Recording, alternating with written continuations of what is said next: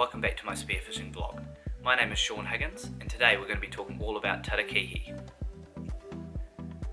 So, tarakihi, teraki if you're from the south, or turkeys for slang, are a species of fish found all throughout New Zealand's coastline, but they are most common through Wellington, the Marlborough Sounds, and in the deep south around Stewart Island and through the fjords.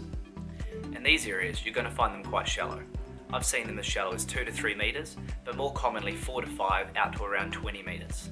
Down the east and west coast, you're going to find them quite a bit deeper, sort of 15 metres plus.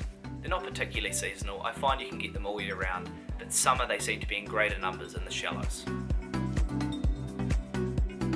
This is quite a typical situation for the top of the South Island. Green water off the side of a rocky kelp bed at around 7 to 8 metres, with schools of fish ranging from 3 to 4 up to 500 or more.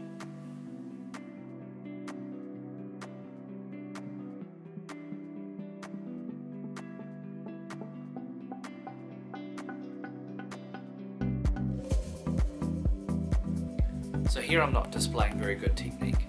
Bombing down straight on top of the fish is often not the best way to go, but in this dirty green water I managed to get away with it.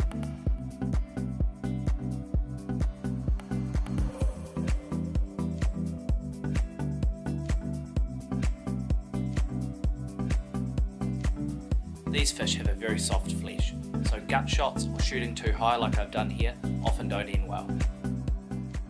Tarakihi aren't that hard to shoot, they can be a wee bit skittish and a wee bit timid, so having good bottom time and making slow movements will definitely help. Next up, this is probably my favourite method for shooting tarakihi. Find a spot that looks like it's going to be holding fish, and start making dives to the bottom just lying perfectly flat and try not to move. The fish are very curious and they'll generally come right in close to check you out. You're usually going to find tarakihi around structure where there's a bit of rock and a bit of weed that sort of cascades down into sand, gravel or mud.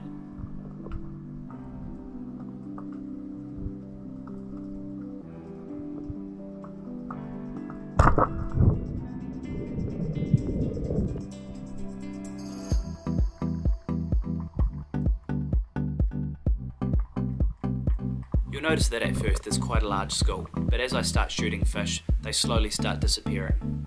As a rule of thumb, I usually say they'll hang around for 30 minutes before moving on to another spot.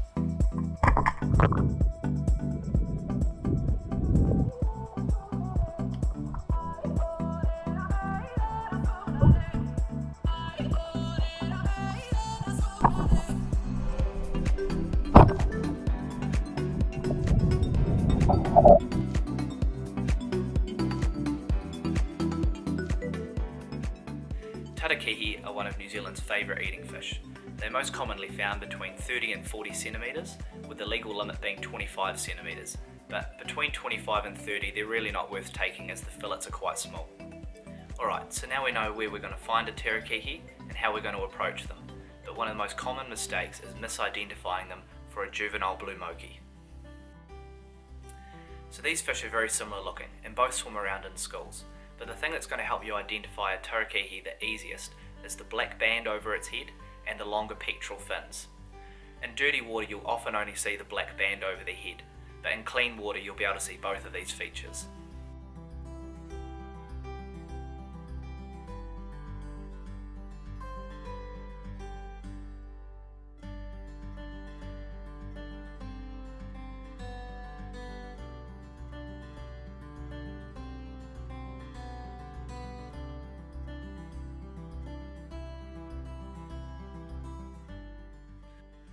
I hope you've enjoyed this video and learned something new.